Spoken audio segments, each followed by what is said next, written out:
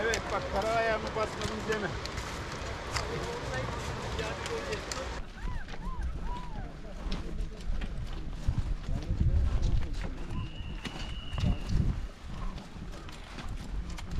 deme.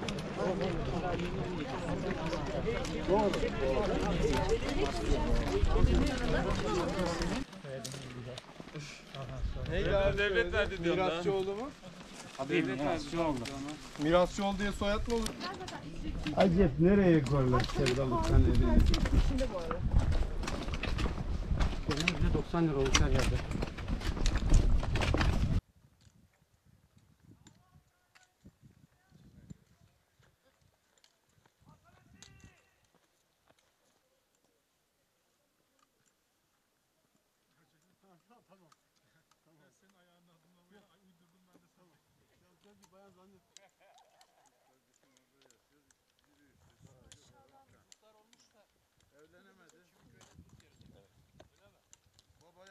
Benim de yap yeğenim. Benim reytingim yüksek.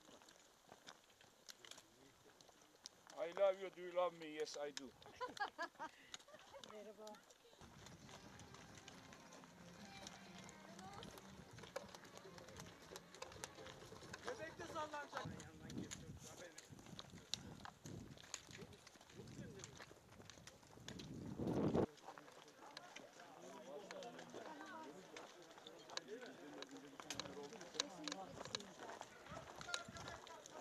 Türkiye'nin farklı illerinden gelen aşağı yukarı 300 tane katılımcı vardı bu yürüyüşte.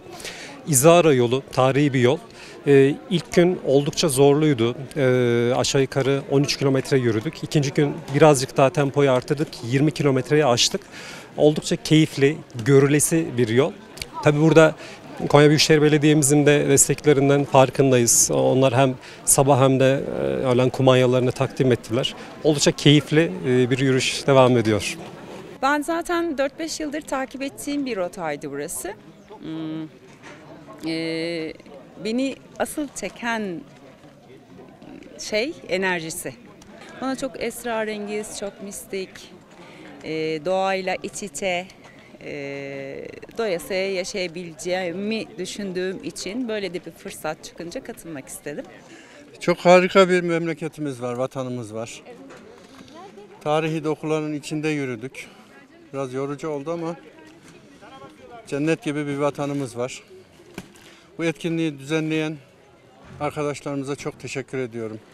Konya Büyükşehir Belediyesi'ne çok teşekkür ediyorum bu kadar kapsamlı bir etkinliğe destek verdiği için.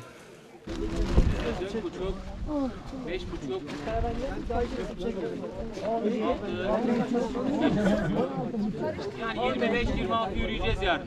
Ama